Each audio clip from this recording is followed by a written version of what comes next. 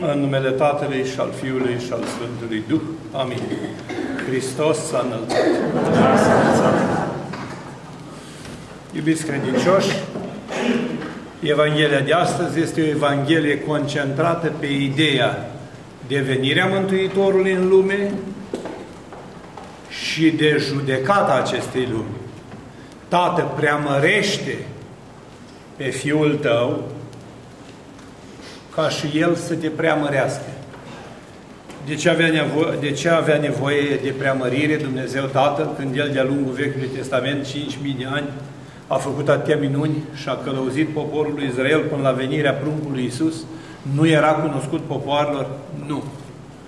Ci de data aceasta Evanghelia se leagă exact cu învățătura care spune așa. Și Tatăl a dat toată judecata Fiului ca Fiul să judece și Fiul spune precum aud, judec și judecata mea dreaptă este. Că n-am venit să fac voia mea, ci voia celui care m-a trimis. Deci iată în ce constă esența. Și dacă ar fi să vorbim de preamărirea lui Hristos, am putea vorbi de câteva simboluri importante. Unu, primul semn prin care Mântuitorul Iisus Hristos este preamărit, deci asta vorbim din momentul pământesc, pentru că avem prima dată simbolul Sfintei Treimi, să facem om după chipul și asemănarea noastră, deci iată prima icoană umană a întrupării, om după chipul și asemănarea noastră. Și de ce? După chipul și asemănarea. După chipul și asemănarea pe care avea să o ia, avea să o ia cuvântul Tatălui din veci atunci când se deșerta sub fecioară din vreme. Și ca să nu rămână de minciună această icoană a întrupării, imediat la căderea lui Adam a și spus și tu, femeie, vei zdrobi capul șarpelui. El îți va păzi călcâiul și tu îi vei zdrobi capul. Deci, prevestește și pe femeia care trebuia să ne dea nouă lumii icoana Fiului lui Dumnezeu, icoana Mântuitorului Iisus Hristos. Deci, iată o a doua preamărire. Un alt act de preamărire este jerfa lui Abel, care era drept, sfânt, fără prihană, milostiv, iubitor de Dumnezeu, și a adus cea mai curată jerfă înaintea lui Dumnezeu pe altarul de piatra Vechiului Testament, pe când Cain, fratele său, de simbolul lumii căzute, a venit și a adus și el câteva poame în pârgă, dar de supărare că fumul cu bun miros, care a ieșit din jerfa lui Abel, simbolul lui Isus, deci curățenia întrupată, sau simbolul omului perfect, i-a dat cu băta în cap, cu piatra, cu ce i-o fi dat și l-a ucis. Și aici are loc, un loc un dialog între bine și rău. Unde este fratele tău? Și răspunsul este pe unul pe măsură după perversitatea lumii de astăzi, din totdeauna. Sunt eu oare răspunzător de sângele fratelui meu?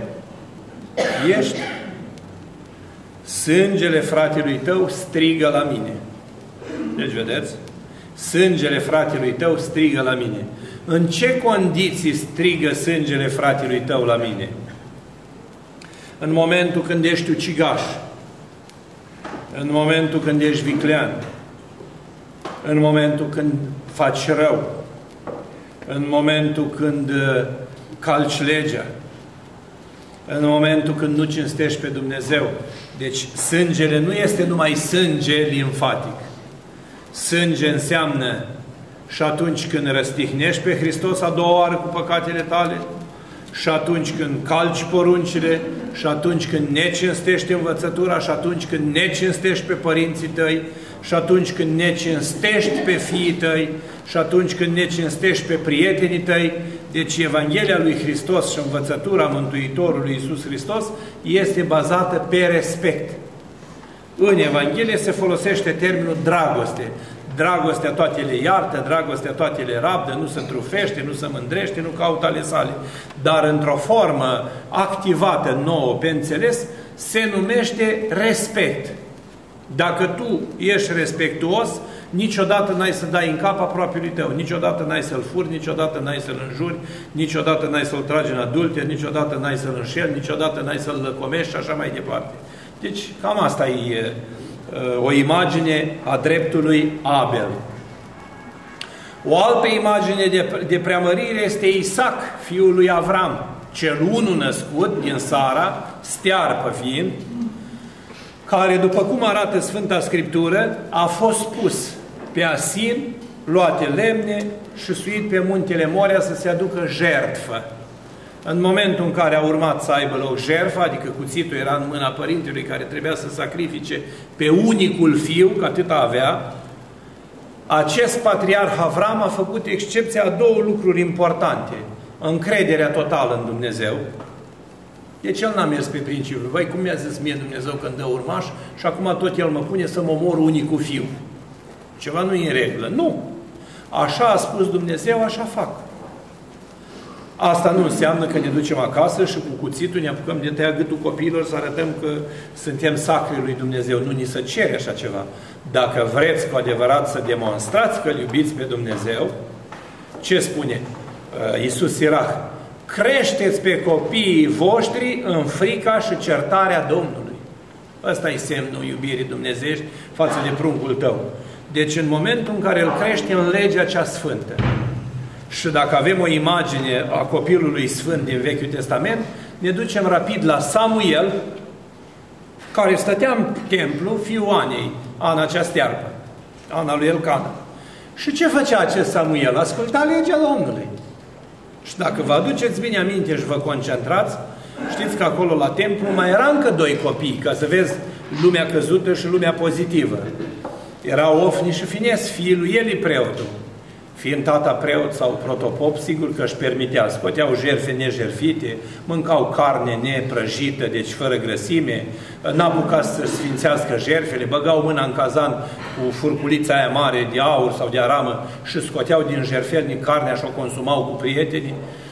Și Dumnezeu s-a adresat cui? Celui cu inima curată și i-a spus, Samuile, Samuile! Și a zis, da, Doamne, poruncește, robul tău ascultă. Spune-i că ce, spune fiilor lui Eli că dacă am să vorbesc eu lui tată să o să-i trosnească urechile.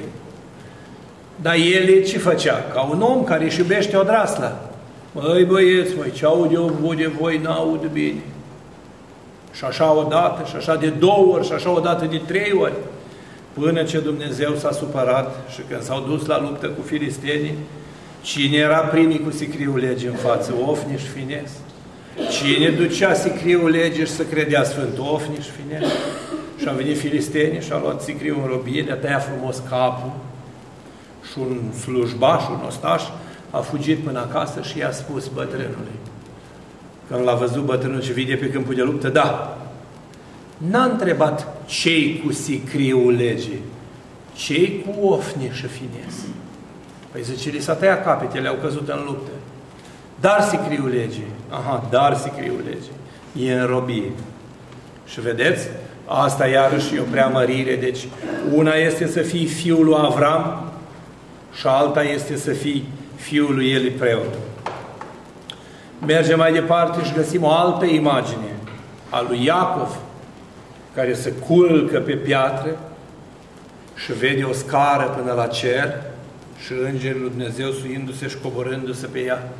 Ce preînchipuia? Legătura omului curat și binecuvântat cu cerul și cu Dumnezeu și cu pământul. Deci sfințirea pământului prin om. Pentru că în locul unde a dormit, unde a dormit Iacov s-a făcut altar de jertfă, acolo s-a jertfit în numele Dumnezeului lui Israel. Și mergând mai departe, ce găsim pe profetul David? Ce mai căutăm mai departe dacă găsim?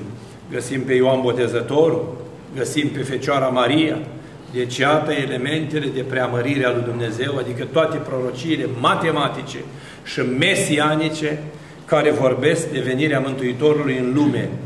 Tată, preamărește-mă! Și ia să vedem în ce constă preamărirea. La bobotează, deschizându-se cerurile și arătându-se Duhul Sfânt în chip ca de porumbel, s-a auzit un glas ca de tunet zicând, acesta e Fiul meu iubit, pentru care am binevoit pe El să-L ascultați. În schimbarea la față, la tabor, S-au arătat ucenicilor slava pe cât li se putea, văzând Dumnezeirea și valurile de lumină ce ieșeau din Hristos în afară și nu din afară spre Hristos. Deci clar că Dumnezeirea, izvorul luminii era înăuntru, deci era Dumnezeu adevărat și om adevărat, cum au spus-o cei de la Sinodi. În momentul respectiv, iarăși s-a auzit glas din nor zicând, Acesta e Fiul meu iubit, întru care am binevoit pe El să-L ascultați. Și iarăși mergem în Evanghelie și găsim scris atât de mult a iubit Dumnezeu lumea, că pe unicul său Fiul l-a dat la moarte și încă ce moarte, moarte pe cruce. Ca lumea să cunoască că Tu ești singurul și adevăratul Dumnezeu și să cunoască pe Iisus Hristos, care a venit în lume să ne mântuiască. Deci, iată, încă o preamărire. Și dacă vă mai aduceți bine aminte, mai este o preamărire în care iudeii cereau semn. Și Mântuitorul le spune foarte frumos. Fățarnicilor, semnele cerului le știți? Fața cerului o știți, dar poruncile nu le știți. Că din de nu s-ar fi vorbit păcat, n-ar avea. Dar pentru că li s-a spus și au văzut, și ce frumos spune aici, și-au văzut lucruri pe care nimeni nu le-a făcut. Auzi ce frumos spune Mântuitorul. Nimeni nu le-ar fi făcut, dar acum nu au răspuns la păcatul lor. Deci, au văzut învierea, au văzut răstihnirea, au văzut mormântul gol, au văzut arătările, au văzut, ca să nu mai vorbim simbolul lui Moise și Iosua Navi din pustie, deci când a lovit uh, muntele și a ieșit apă, când a înconjurat Erihonul cu trâmbițe și s-a dărâmat cetatea, simbolul păcatului, cu cele șapte taine, că de șapte ori au înconjurat-o. Și de ce v-am amintit toate acestea? Sunt preamăriri ale Tatălui pentru Fiul, dar la urmă l-a preamărit într-un mod inegalabil. Și venind vremea să nască, Maria și cu Iosif i-a prins vremea la Betleem, se făcea, se făcea recensământul în timpul lui Cezar Augustus, și după ce s-au înscris, deci în vederea plătirii impozitului și a numărării populației, au intrat să nască într-un loc sărac, nu mai repetăm povestea cu Ieslea și așa mai departe, ci amintim doar atât, că o stea călătorea pe cer arătând locul unde era pruncul, îngerii cântau, păstorii se bucurau, aduceau și ei cu, cu magii bucurie, iar magii veneau și se închinau împăratului și arhereului celui veșnic și învățătorului celui veșnic, adică întreita slujire. De ce?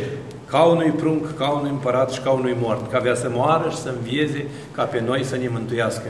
Să răsară într-o putere și într-o slavă, să răsară într-o veșnicie și să se semene trup, trup pământesc și să răsară trup duhovnicesc. Deci iată de ce l-a preamărit Tatăl pe Fiul. Și mergem mai departe. De-abia am terminat un verset. Precum ai dat stăpânire peste tot trupul, ca să dea viață veșnică tuturor acela pe care tu i-ai dat lui, și aceasta este viața veșnică, să te cunoască pe tine lumea singură și adevăratul Dumnezeu, am vorbit. Eu te-am preaslăvit pe tine pe pământ, lucru pe care mi l-ai dat să-l fac l-am săvârșit, spune Fiul, și aici ne oprim, e partea a doua a Evangheliei, lucru care mi l-ai dat să-l fac pe pământ, l-am făcut. Ce a avut Isus de făcut pe pământ? Trei lucruri concrete și la obiect.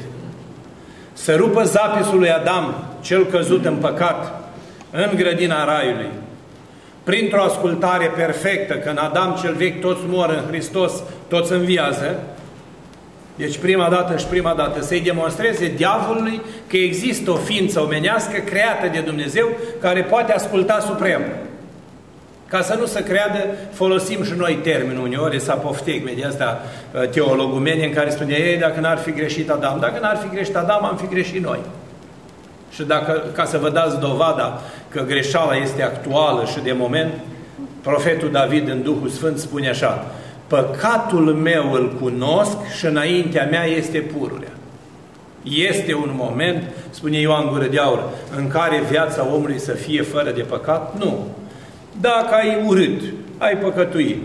Dacă ai gândit de rău, ai păcătuit. Dacă ai făcut rău aproape, ai păcătuit. Dacă ai mâncat prea mult, ai păcătuit. Dacă ai înjurat, ai păcătuit.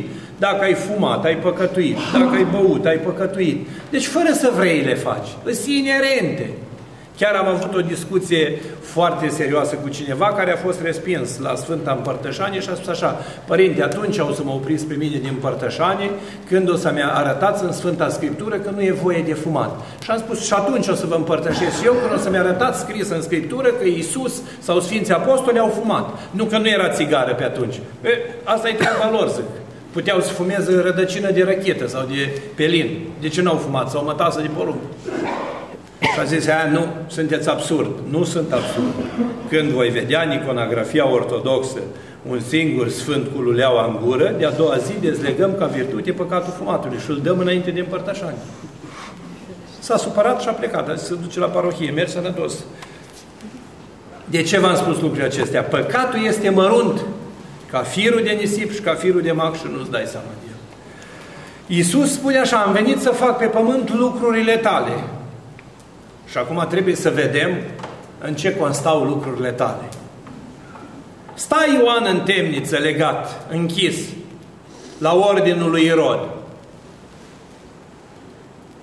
Și vin ucenicii la el și le spune, mergeți la Hristos în pustie și întrebați-l, tu ești sau pe altul să așteptăm? Deci vedeți ce frumos? Tu ești sau pe altul să așteptăm? Deci cel ce venea trebuia să facă niște minuni, niște semne. Trebuia să facă niște lucruri reșite din fire. Ceva care să, să poate să convingă.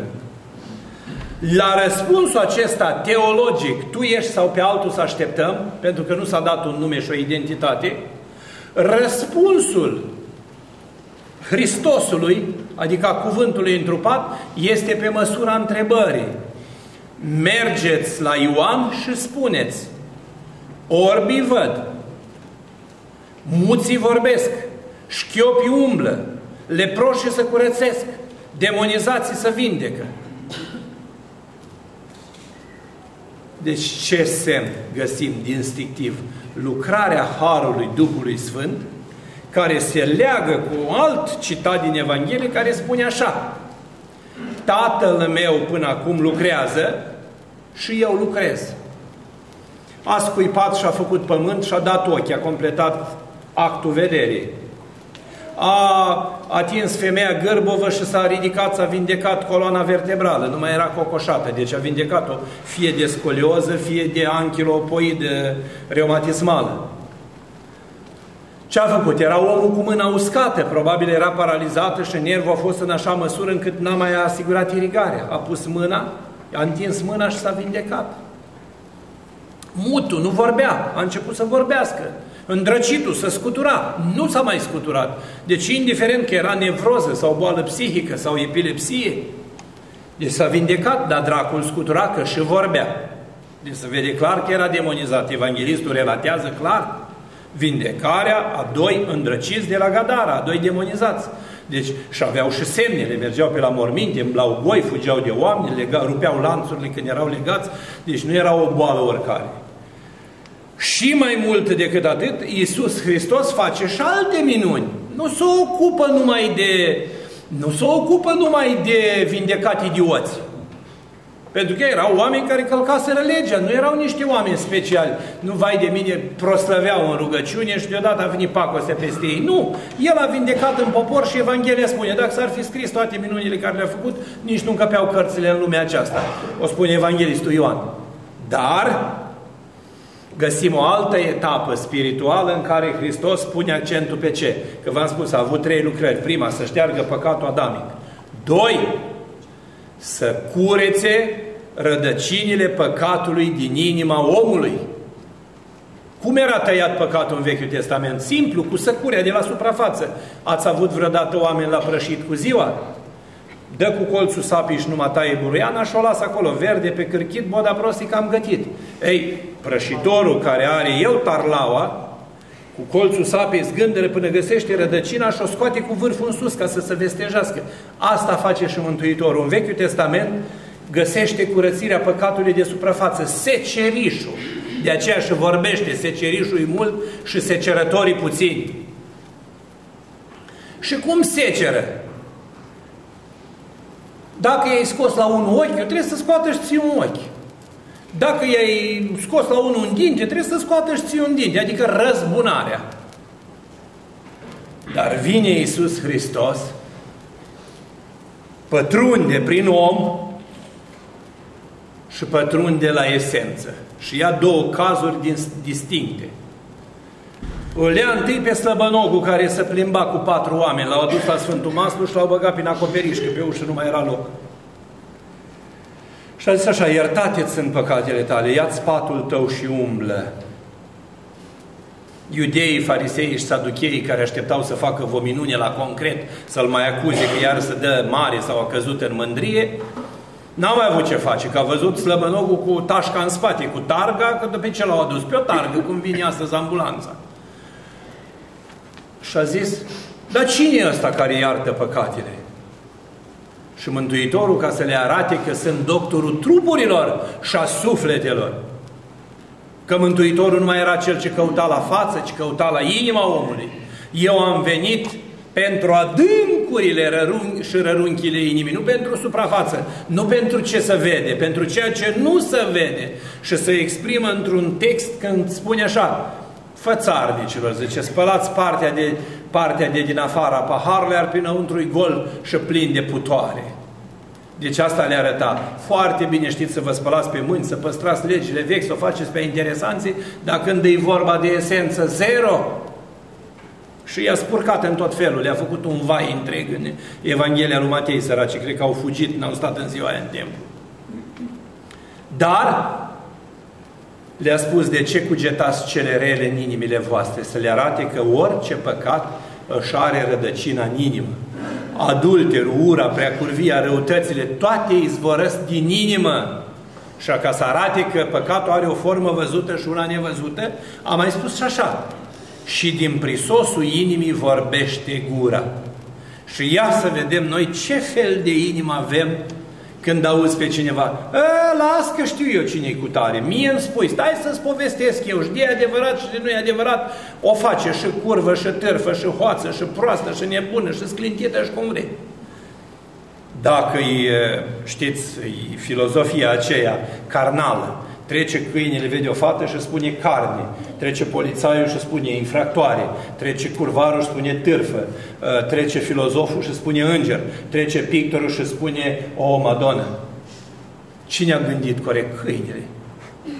Deci omul e chiar din carne. Ceilalți își judecau defectul profesional. Doctorul poate treacă, zic, oare pe la cel doare. Îl vede ca pacient. Deci, vedeți? Ei, Mântuitorul trece peste această etapă și le arată că în inimă stă răutatea și spune așa, în inima omului stau toate răutățile. Deci acolo izvoresc toate patimile. Și ce cere în Evanghelie? Fiule, dă-mi inima ta ca să-mi fac locaș în ea că mara ta mântuitorule o văd împodobită, dar îmbrăcăminte nu am să intru în trânsa. Luminează-mi haina sufletului meu. Și care e haina sufletului? Mă rog, unde stă sufletul? Nu în inimă? Unii cred că stă în minte, dar el să plimbă casa sufletului inima. De ce? Nu pentru că e viața și sângele acolo. Ala e firea dobitocească, biologică. Sufletul este de o, de o natură divină, sub formă de conștiință, scânteie sfântă, venită din izvorul treimii. Și atunci, Sufletul stă acolo în acea haină, care uneori nu-i de lumină, că așa spune, luminează-mi haina sufletului meu, dătătorule de lumină și mă mântuiește. Pocăința inimii, zdrobirea inimii, căința păcatelor, toate vin din inimă. Și ce îi spune slăbănogului ca să arate că esența păcatului e începutul răutății? Iertate sunt păcatele tale. Când îl găsește pe Allah la vitez, dar îi dă un răspuns, vine după el în biserică, îl caută printre oameni. Se apropie de el la ureche și îi spune, băi, te-ai făcut sănătos, dar vezi, bagă bine de seamă să nu-ți fie ție și mai rău. De ce? Pentru că noi alergăm la doctor să ne facem sănătoși, dăm milioane de lei, sute de mii de lei, aur, relații, informații, știință, cultură, și ne punem un bypass, o inimă de plastic, un rinic transplantat, o mână transplantată, un ficat transplantat, tot ce vrem. Dar nu ne transplantăm bunătate.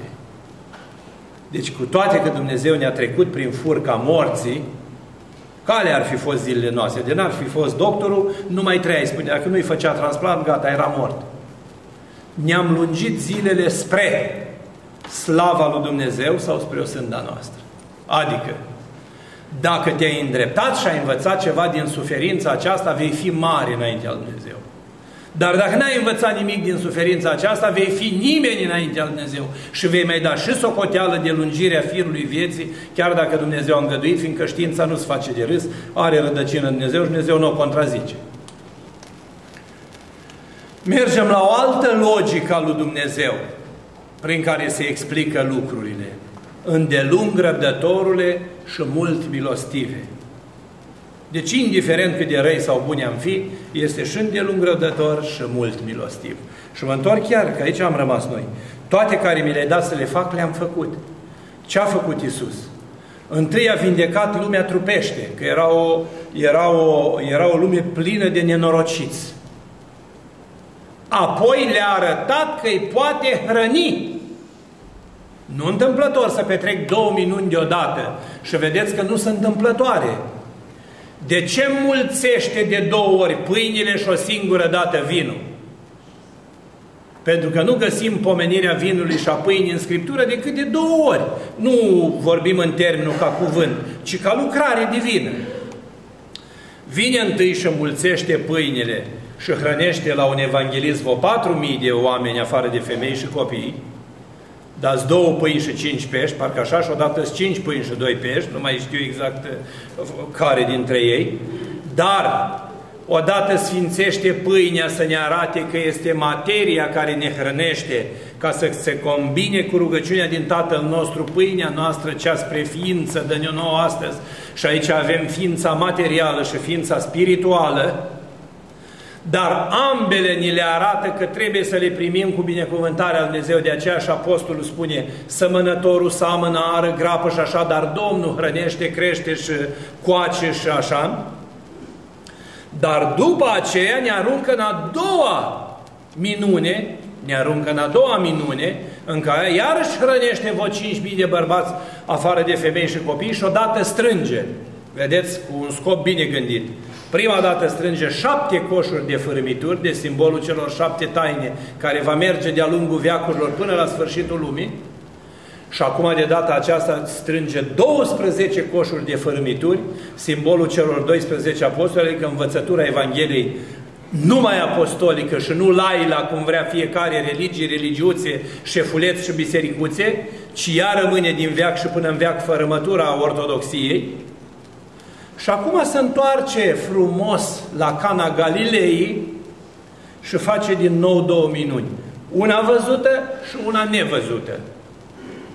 La Cana Galilei ia polobacele cu apă din piatră și le preface în vin. Și de ce le preface în vin? Ca să se vadă că puterea de epicleza Duhului Sfânt în cuvântul Mântuitorului rămâne valabilă și nu e o închipuire. Deci nașul când a băut n-a spus așa, mamă ce apă cu gust de vin. Și a spus așa, cum ai ținut vinul cel bun până acum? Că așa se face la nuntă, să pune la început vinul cel mai bun și când au băut bine să pune cel mai slab.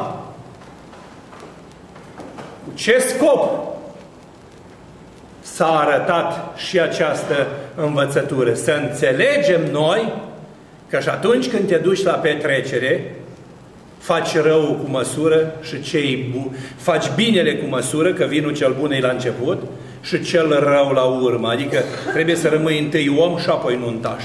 Adică trebuie să rămâi întâi creștin și apoi mesian. Și acum se duce la foișorul de taină, pregătește cina frumos și face ace aceeași treabă. Ia pâinea și o binecuvintează nemai mulțind-o, ci numai spunând, acesta e trupul meu, eu sunt pâinea cea vie. Deci eu sunt izvorul pâinii. Și din grâu dacă o luați, și din pământ dacă o scoateți, și din minune dacă o faceți, e a mea. E a mea. Dar ce a vrut să facă? Să contramandeze lucrarea lui Sarsailă din Carantania și să înțeleagă oamenii că pâinea nu se face decât din materia pâinii, din grâu. Și de aia a dat pilda Evangheliei, ca un, un om a venit și a sămănat grâu în tarlalele sale, dar a venit un dușman noaptea și a sămănat zăzanile, neghinele. Și acum era contradicția, lupta. Să strângem neghina, smulgem spicele, să curățăm neghina, să-i dăm foc, stricăm grâu. Vă dai seama că nu umbli prin grâu, că calci. Și atunci Mântuitorul a găsit soluția fundamentală parusiană și a spus așa, facem altfel. Le lăsăm să se coacă din preună. Și mergem în Apocalipsă la capitolul 11 sau 13 și citim așa. Cel ce face bine să facă bine. Cel ce face rău să facă în continuare rău. Că eu vin și plătesc fiecăruia după faptele lui. Și care este scopul lăsării grâului la cop împreună cu neghina? Ca pe parcursul facerii grâului, multe spice de neghină să facă în spice de grâu, adică la vremea secerișului, au, morți aud glasul lui Dumnezeu și care vor auzi vor învia. Deci cei care mai ascultă o predic, să mai spovedesc, să împărtășesc, din neghine să fac grâu. Deci asta e vremea. Și acum când Mântuitorul ține pâinea în mână și o binecuvânt acolo, era de față ce? Și o neghină. De unde știu? Din finalul Evangheliei.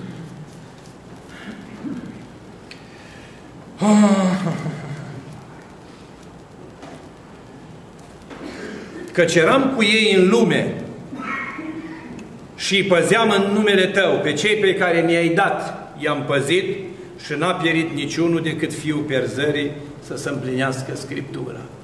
Ai văzut? că la binecuvântarea pâinii era și o sămânță de neghină. Era Iuda. Și de ce v-am vorbit de lucrul acesta de Iuda? Ca să înțelegeți că s-a copt grâu și totuși această neghină nu s-a modificat spiritual cu nimic, a rămas în continuare o travă a neghinei. Dar, când a binecuvântat pâinea, a dat șansă neghinei să se facă grâu. Nu prin faptă, prin cuvânt luați, mâncați, acesta e trupul meu, care se frânge pentru voi și pentru mulți, că nu știm cât să lor mai mânca. Și strămoșii noștri l-au mâncat. Și oastea lui Mircea cel bătrân, și oastea lui Mihai Viteazu, și oastea lui Ștefan cel Mare, și oastea lui Vasile Lupu, toți, și al lui Basarab, și al lui Brâncoveanu, toți au mâncat din pâinea aceasta. Și s-au dus în țărână și au sfințit pământul din care iese iarăși greu. spre iertarea păcatelor și să o faceți într-o pomenire a mea în veacul veacului. Deci permanent să nu se oprească această sfințire a pâinii. Și apoi a luat paharul și l-a binecuvântat și la fel le-a spus. Beți dintr-o acesta toți, asta este o, un simulacru, deci ca să se combine cele două paragrafe, că se ia direct, acesta e sângele meu a legii celei noi, dar ca să înțeleagă omul că trebuie să bea nu să se îmbuibe sau trebuie să guste, nu să se amețească. Nu vă îmbătați de vin într-o care de sunare, spune Apostolul. Și nu în cele din urmă, care pentru voi și pentru mulți se varsă. Interesant. Și avem formula aceasta. Dacă ne ducem în țara populară românească, și ne ducem la țară, la cimitir sau la un parastas sau oriunde, vei vedea că creștinul când împarte de pomană, toarnă vin peste pahar să curgă și spune să fie de sufletul celor adormiți. De se varsă. Se varsă. Nu se umple, se varsă, dă peste. De ce? Spre iertarea păcatelor și spălarea păcatelor. Deci pe cei morți îi stropim, stropim, vei și mai vârtos decât zăpada în voi albi, spune psalmistul în uh, psalm, iar cei vii, ce voi răsplăti Domnului pentru ce mi-a dat mie, paharul mântuirii voi lua și numele Domnului voi chema. Deci, Tată, preaslăvește-mă să te preaslăvesc. Și când l-a preaslăvit? În momentul în care l-a înviat și mormântul de viață făcător, deci mormântul gol al morții, a devenit mormântul vieții. Deci aceasta este esența preamăririi Fiului lui Dumnezeu. Și când îl va mai preamări? Precum l-ați văzut pe Fiul omului suindu-se, că am vorbit joi când a fost înălțarea, acum 3-4 zile, așa-l veți și vedea pogorându-se pe norii cerului. Dar de data aceasta folosește Evanghelia un text foarte frumos. Venind cu putere multă. Nu mai vine cu Petru și cu Ioan și cu Iacov și ăștia fug și merg ca potărnichile și rămâne Mântuitorul gol singur. Nu! No. De data aceasta vine cu aste de îngeri ca să-i aleagă pe aleșii săi, să pună 12 scaune de judecată, Iisus să stea pe scaun în firea omenească, deci nu va fi în treime. Tatăl ascultă judecata Fiului, nu judecă.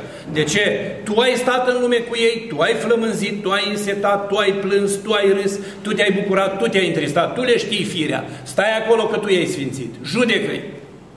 Și spune Mântuitorul, precum aud judec. Și de ce spune cum aud judec? Se vor tângui toate popoarele pământului, spune Scriptura, de ziua și de ceasul acela, pentru că se vor pune cele 12 scaune și vor sta pe ele cei 12 apostoli și iarăși Matei spune, Sfinții vor judeca lumea, deci nu o judecăm noi, nici avocații. Degeaba să fac câte o mie de drepți pe an la facultate, că nu ei vor judeca lumea. Deci acolo nu mai pot plăti barou, acolo stau Sfinții. Dar Sfinții prin ce judecă? Prin faptele lor. Pomul se cunoaște după roade și omul după fapte. Cam așa va fi răspunsul la judecată. Și vor veni cei de-a dreapta de-a dreapta și cei de-a stânga de-a stânga. Și de ce spune Fiul precum aud judec? El aude doar două lucruri. Bucuria binecuvântării, cei ce se veselesc, veseli se va dreptul de Domnul și de auzul rău nu se va teme. Și o vor auzi gemetele celor păcătoși care vor spune, Doamne, când te-am cunoscut pe Tine? Când ai fost flământ? Când ai fost însetat? Când ai fost gol? Când ai fost bolnav? Și Mântuitorul va da un singur răspuns. Nu vă cunosc pe voi. Și de ce? Întrucât n-ați făcut celor mai mici, mie nu mi-ați făcut. Deci aceasta este esența Evangheliei de astăzi. Preamăriți-L pe Dumnezeu, cum spune Apostolul Pavel. Ca văzând, văzând oamenii faptele noastre cele bune, să preamărească pe Tatăl nostru cel din cer. Amin.